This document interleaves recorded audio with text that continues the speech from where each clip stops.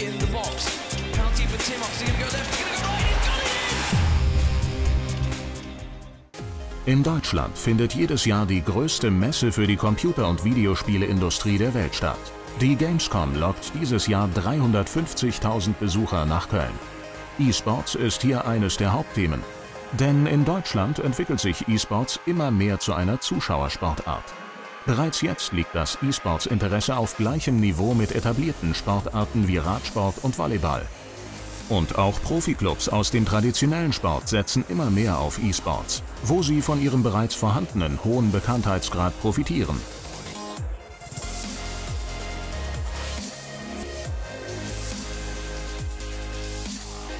So ist eines der bekanntesten E-Sports-Teams der VfL Wolfsburg. Unter dem Motto Fußball ist alles engagiert sich der VfL Wolfsburg als erster Fußball-Bundesligist seit Mai 2015 auch im Bereich des elektronischen Sports. Drei Profi-FIFA-Spieler haben die Wölfe bereits unter Vertrag. Benedikt Salzor Salzer, David Dave By The Way und Timox Sieb sind die jungen Talente der Szene. Aber was macht einen E-Sportler wie Benedikt Salzer aus? Was sind seine Ziele und was unterscheidet ihn von anderen Sportlern? Wir haben Benny in seiner Heimatstadt besucht und ihn bei einem seiner wichtigsten Turniere in diesem Jahr nach London begleitet. Es ist ja jetzt hier zum allerersten Mal der FIFA Interactive Club World Cup, bei dem jeder FIFA-Spieler einen äh, Fußballverein repräsentiert. Äh, für mich natürlich eine riesige, riesige Ehre, hier ein Teil davon sein zu dürfen. Und ich will natürlich die letzte Chance wahrnehmen, mich um, äh, für den FIWC zu qualifizieren. Am späten Abend ist Benny angereist. Morgens geht es gleich früh an den Veranstaltungsort im Zentrum Londons. Der 25-jährige Benny ist zuversichtlich, bei diesem FIFA-Event richtig gut abzuschneiden. Vorbereitung ist alles. Ich fühle mich richtig gut vorbereitet. Äh, Ich habe eine neue Taktik überlegt, mit der ich jetzt wahrscheinlich auch hier spielen werde. Äh, könnt ihr euch einfach mal überraschen lassen. Und äh, meine Gegner sind an sich, ja, ich würde sagen, eine sehr ausgeglichene Gruppe. Generell alle Gruppen sind relativ ausgeglichen. Und ja, wie heißt der schöne Spruch, wenn man gewinnen will, muss man alle schlagen. Ich gucke einfach mal positiv nach vorne und freue mich auf die Spiele. In einem der größten TV-Studios in London wird die europäische Clubmeisterschaft ausgespielt. Hier sind die großen Namen der europäischen Fußballelite alle vertreten. Manchester City hat schon seit Sommer 2016 ihren ersten E-Sportler unter Vertrag. Der holländische Fußballclub Heracles ist der erste Profiverein, der eine Nachwuchsakademie für FIFA-Spieler gegründet hat. Der französische Club Olympique Lyon ist nach Paris Saint-Germain und dem AS Monaco der dritte Profiklub in Frankreich, der E-Sports betreibt. Auch der FC Schalke 04 ist in London dabei und hofft mit S04 Tim Latka Schwartmann und Lukas S04 Ideals Schmand auf den Sieg. Doch für Benedikts Manager Denis hat der E-Sports mit dem Spiel EA FIFA noch sehr großes Potenzial. Also andere E-Sports sind schon sehr weit. Das kann man schon fast mit normalem Fußball wie normal Sachen wie normalem Fußball oder Volleyball oder was auch immer vergleichen. Ähm, aber es gibt halt in FIFA noch, die sind jetzt gerade erst am Aufholen. Durch das Einsteigen der Vereine und Sponsoren und sowas äh, sind die jetzt erst so richtig am Kommen. Und ähm, die sind aber halt noch nicht so weit, wie sich das manche vorstellen. Also das ist schon eine Entwicklung, die man sehen kann, aber es ist halt nicht so, dass ich sage, okay, ähm, Counter-Strike, FIFA, ich würde keinen Unterschied erkennen. Also da gibt es noch sehr viel zum Aufholen, aber durch so Engagements wie den Verein und der FIFA ist es schon sehr schnell gewachsen von einem Jahr. Die Softwarefirma EA Sports und die FIFA wollen für ihre Sponsoren und die Vereine ein perfektes Setup umsetzen. Zuschauer gibt es zwar nicht Zehntausende wie bei den League of Legends Worlds, Counter-Strike oder Dota 2 Events, aber dafür ist die Produktion und Inszenierung professionell und auf den Punkt. Im Spiel 1 der Gruppenphase muss der Wolfsburger Salzer gegen PSG Eindhovens Romal Abdi spielen. Es läuft für den VfLer nicht so, wie er es sich erhofft hätte.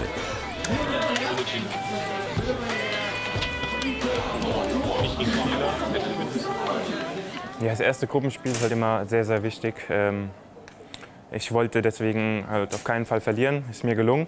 Ähm, habe eine etwas defensivere Aufstellung auch die letzten Wochen ausprobiert online. Ähm, hat soweit ganz gut geklappt. Hier hat es auch gut geklappt. Ich glaube, der Gegner hatte in 90 Minuten keinen einzigen Torschuss. Ich hatte leider auch nur zwei. Ähm, von denen der eine eventuell hätte sogar reingehen können, aber so ist halt FIFA, geht nicht unbedingt immer rein. Ähm, jetzt im Nachhinein bin ich schon ein bisschen enttäuscht, weil ich das erste Spiel halt sehr gerne jetzt auch gewonnen hätte. Ähm, weil ich halt auch gemerkt hatte, dass definitiv mehr drin gewesen ist. Aber das 0-0 nehme ich mit, das Unentschieden nehme ich mit und jetzt gucke ich halt weiter, wie die nächsten Spiele laufen. Benny muss jetzt wichtige Punkte in der Gruppenphase sammeln. Benedikts Defensivstrategie geht zunächst sehr gut auf. Er geht in Führung. Doch dann... So lächerlich, dieses Scheiß. Ja, einfach weiter. Er kassiert zwei Gegentore gegen David David SP Soriano Perujo, der 26-jährige Star des FC Valencia, dreifacher spanischer Meister. Dieser E-Sportler spielt seit FIFA 98 und bringt sehr viel Erfahrung mit auf dem digitalen Spielfeld. Wieder geht die Partie unentschieden aus. Ja, es ist natürlich nervig. Gerade das erste Spiel unentschieden, okay, das war, das war okay. Wir haben uns egalisiert, aber das zweite Spiel, danach habe ich mich, beziehungsweise danach war ich wirklich ein bisschen verzweifelt, weil ich klar der bessere Spieler war und der Gegner macht zwei Longshots kurz vor Schluss und dann nochmal einen Ausgleich. So ist halt leider oftmals FIFA und sowas kann halt dann hier über die Weiter- äh, beziehungsweise über die Qualifikation entscheiden. Das nächste Spiel entscheidet, ob Benedikt für seinen Verein VfL Wolfsburg in London die Gruppenphase übersteht. Die FIFA-E-Sportler stehen unter großem mentalem Druck. Sie müssen ihre Leistungen auf den Punkt und über den Turnierverlauf durchgängig abrufen können. Benedikt Salzer versucht diese Stärke nicht nur mit seinen Trainingseinheiten am Computer zu professionalisieren. Er ist zudem Stürmer in seinem Heimatverein FC 07 Bensheim. Der reale Fußball ist für Benny mehr als nur ein Ausgleich für seine E-Sports-Karriere. Die physische Fitness ist meiner Meinung nach sehr, sehr, sehr wichtig. Ähm, gerade um über langen Zeitraum wirklich konzentriert spielen zu können am Computer, äh, ist mir hier der Sport ein sehr, sehr guter Ausgleich und auch ein Stück weit sehr, sehr gutes Training. Je fitter man ist, desto länger kann man die Konzentration oben halten, desto ja, geregelter ist dein ganzer Körper meiner Meinung nach, weil wenn ich eine Zeit lang mal gar keinen Sport mache, fällt es mir schon auf, dass ich mich schlapp und müde fühle, wenn ich nur im Prinzip vor dem Computer sitze. Und da ist gerade der Ausgleich hier in Form des Fußballs natürlich eine perfekte Option. Und ich könnte mir auch wirklich ein Leben nicht ohne aktiven Sport vorstellen. Ich studiere ja auch Sport, äh, mache dementsprechend auch sehr, sehr viele andere Sportarten. Aber Fußball ist für mich mein Ein und Alles und deswegen spiele ich wahrscheinlich auch FIFA. Das Training auf dem Fußballplatz zwei bis dreimal die Woche zu absolvieren, die Spiele in der Verbandsliga und das professionelle Zocken an der Konsole miteinander zu verbinden, ist eine große Herausforderung für den Studenten. Es war am Anfang echt nicht ganz so leicht. Also man braucht wirklich ein sehr gutes Zeitmanagement. Und als das mit FIFA zwar immer größer wurde, aber mein Verein noch nicht so wirklich davon wusste, waren sie teilweise schon ein Stück weit verdutzt, als ich dann gesagt habe, ja hier am Wochenende beim Spiel bin ich nicht da. Ja wieso? Ja, ich muss Computer spielen. Und da mussten die meisten natürlich erstmal runterschlucken und gesagt haben, hey, was ist da wirklich los? Aber als ich das dann ihnen alles erklärt habe, äh, konnten sie das natürlich voll und ganz nachvollziehen und äh, unterstützen mich dabei auch. Äh, ist wahrscheinlich einer der wenigen Clubs, die einen Spieler wie mich so unterstützen, auch immer sagen, hier, wenn da irgendein Turnier ist oder so, kein Problem. Wir freuen uns, wenn du wieder da bist und wünschen dir ganz, ganz viel Glück. Als Stürmer in seiner Mannschaft muss er für die Tore sorgen, sich aber auch als Teamplayer beweisen.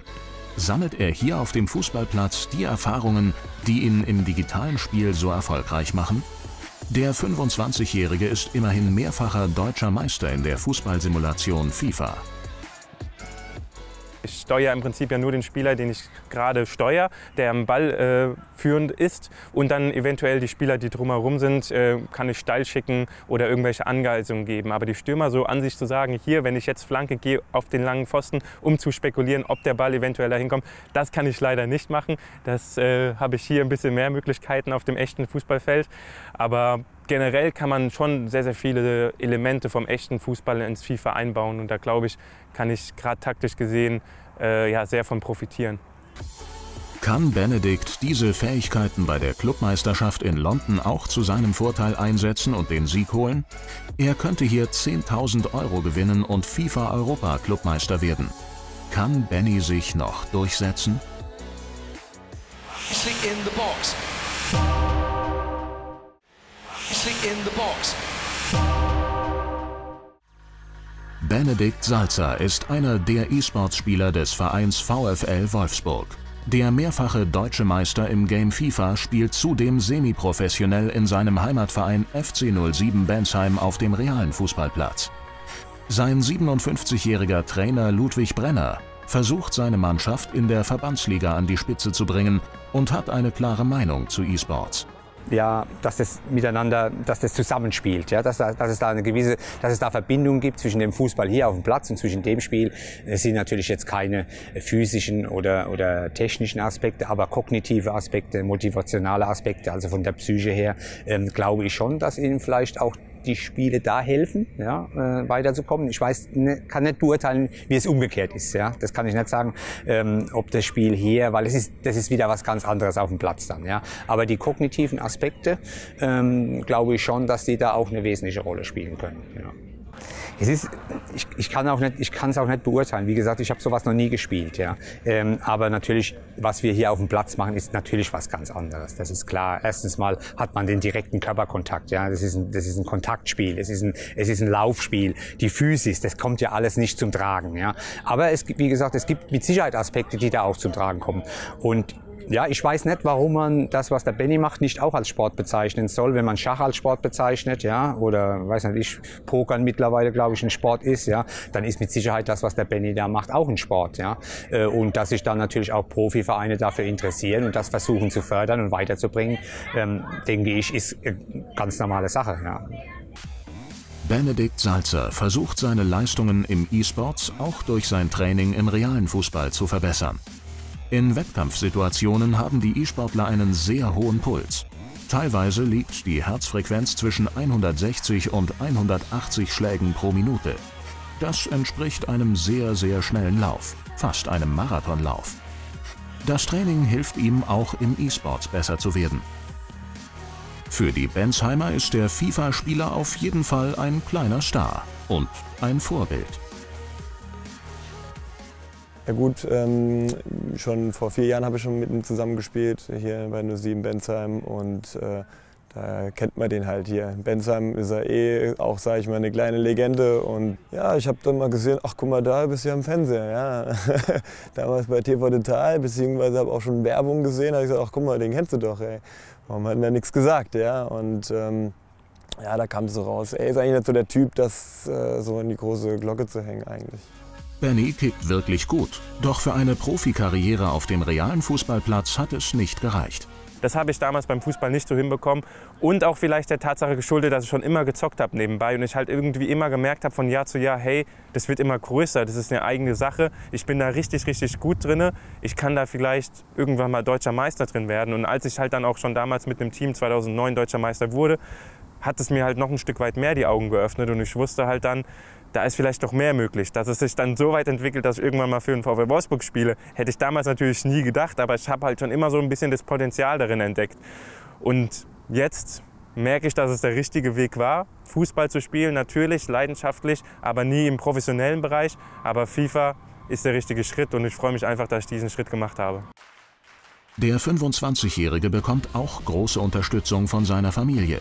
Sein Schwager, der IT-Consultant Marco, spielt gern mal gegen Benedikt an der Konsole und die beiden tauschen sich über Bennys internationalen Turnierplan aus. Der 33-Jährige hat schon seine eigenen Erfahrungen mit dem Thema E-Sports gesammelt. Ja, ich verfolge das sehr genau, weil ähm, als ich so alt war wie der Benedikt und noch jünger, habe ich auch professionell mehr oder weniger gespielt. Und äh, da bin ich echt dankbar für die Bundesliga-Vereine, wenn die da die, den E-Sport in Deutschland voranbringen. Meine Spiele waren eher die Ego-Shooter. Die haben halt leider nie so die mediale Aufmerksamkeit und auch nicht die der Sponsoren erregt. Von daher bin ich da jetzt ziemlich gespannt, wie sich das noch entwickelt in Deutschland. Marco weiß, dass er keine Chance gegen seinen Schwager hat. Er hat aber auch großen Respekt vor Benny, denn konstant diese Leistung im E-Sports zu bringen, ist wirklich nicht leicht er hat halt so eine Erfahrung und vor allem, wo ich ihn am meisten drum beneide, was viele nicht wissen, was vielleicht sehr wichtig ist, ist halt auch seine Ruhe in Turnieren. Daheim auf der Couch oder im Sessel können viele gut sein, aber in Turnieren dann vor Ort mit Publikum unter Live und dem ganzen Druck, da kann er auch immer ruhig abliefern. Von daher glaube ich, dass er da noch einiges erreichen kann. Zurück in London. Hier spielt Benedikt Salzer für seinen Verein VfL Wolfsburg gegen die europäische Elite im Game FIFA. Der 25-jährige E-Sportler hat zwei Spiele in der Gruppenphase unentschieden gespielt und muss jetzt unbedingt gegen den nächsten Gegner gewinnen. Mattia Lone Wolf 92 Guarascino ist ein italienischer Topspieler, der seit 2008 schon sechsmal italienischer Meister geworden ist. Dieses Spiel gewinnt Benny. Drittes Spiel äh, souverän gewonnen, kein Gegentor bekommen. Ähm, habe ein bisschen umgestellt, ein bisschen offensiver gespielt. Ich denke, in den nächsten beiden Spielen werde ich ähnlich spielen. Und habe es im Prinzip ja noch in der eigenen Hand. Wenn ich jetzt gewinne, bin ich ja, glaube ich, sogar vor äh, dem zweiten. Also habe ich sogar noch die Chance, äh, weiterzukommen. Insofern, auf geht's. Benedikt ist mit einer sehr defensiven Taktik ins Turnier gestartet. Diese Taktik musste er umstellen und nun versucht er alles, um das dritte Spiel gegen den Norweger Expect Sporting zu gewinnen. Es sieht aber nicht gut aus. Man versucht halt dann irgendwie ein Stück weit auf Situationen zu spielen, die zu tausendprozentigen Tor geben müssen. Also wenn man dann irgendwie vom Tor nochmal quer rüberlegt. Das Problem ist halt, dass wenn man gegen Pro-Gamer spielt, sehr schwer in diese tausendprozentigen Chancen reinkommt, weil man halt vorher irgendwie den Ball schon abgenommen bekommt, beziehungsweise der Gegner halt so gut steht. Man versucht halt wirklich aus diesen paar Situationen, die Tore ergeben können, auf die Situation halt zu spielen, weil man nicht wirklich viele Chancen im Spiel hat halt meistens.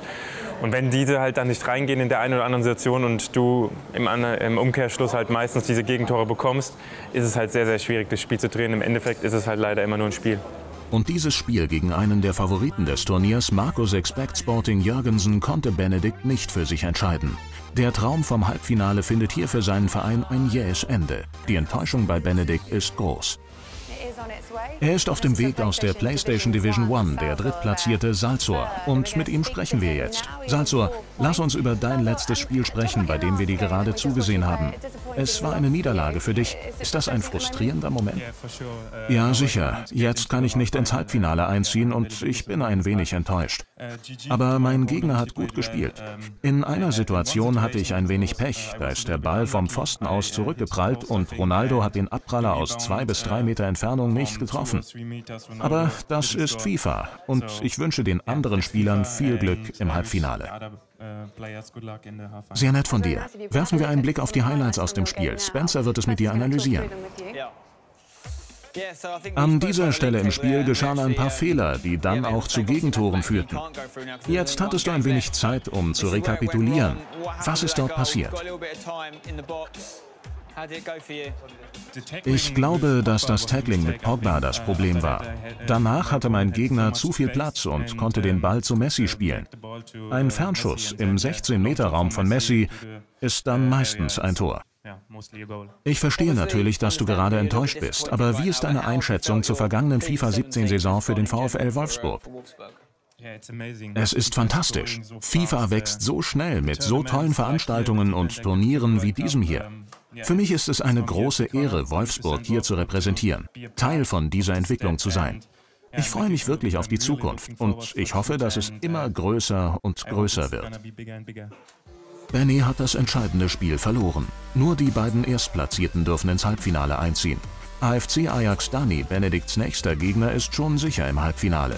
Doch auch wenn Benny nicht mehr in die Top 2 kommen kann, freut er sich auf ein gutes Spiel.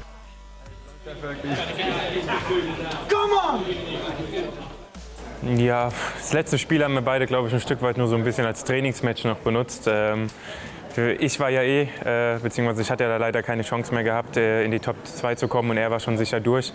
Ähm, ja, es war ein sehr ausgeglichenes Spiel. Er musste am Ende selber sogar lachen, dass die eine oder andere Situation von mir nicht einem Tor unter, äh, beziehungsweise ich nicht in der einen oder anderen Situation das Tor geschossen habe.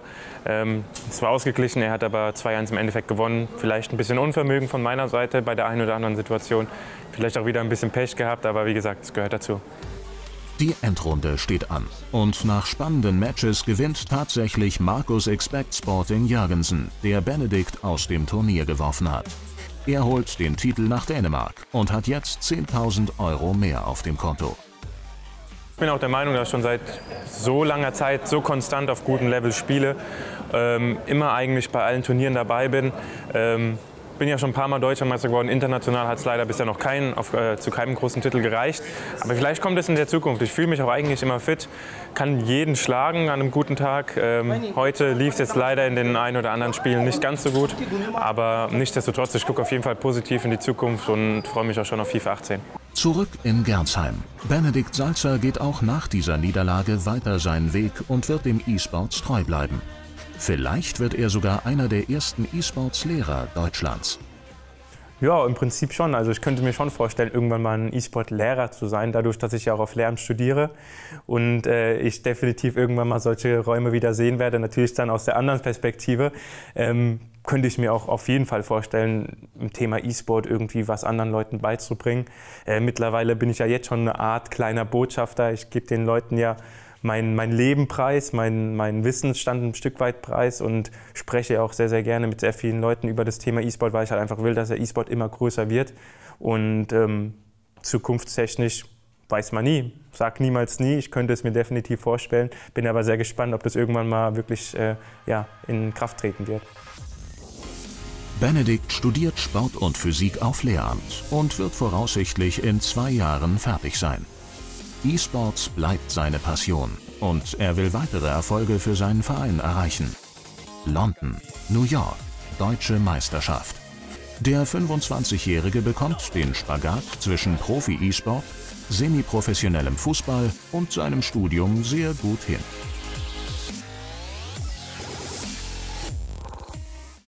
In der nächsten Folge Inside eSports Spezial begleiten wir Benedikts Teammitglied beim VfL Wolfsburg, Timo Timox Sieb. Er will den Weltmeistertitel nach Deutschland holen. Unbedingt. Timox hat sich wochenlang auf das Turnier vorbereitet. In London war es so, dass ich schon sonntags angereist bin und das Turnier erst mittwochs losging. Bei so großen Turnieren wird der ähm, Turnierbaum immer erst kurz vorher gemacht, deswegen kann man sich da nicht so groß vorbereiten auf die speziellen Gegner. Aber ich war ähm, so einen Monat vorher im Urlaub und ähm, selbst im Urlaub ist das Abschalten halt extrem schwer. Habe dann da im Pool immer meine äh, Spiele nochmal angeguckt, äh, in Berlin und so. Und da habe ich dann geguckt, wie ich gespielt habe, was ich noch ein bisschen verändern kann. Habe mich dann selber manchmal aufgeregt, so ey, warum habe ich nicht da nochmal quer gespielt und sowas. Und das hilft mir einfach extrem, mein eigenes Spiel nochmal anzugucken. Wird Timox den Titel im Grand Final der Weltmeisterschaft im Game FIFA 17 nach Hause holen können? Stick in the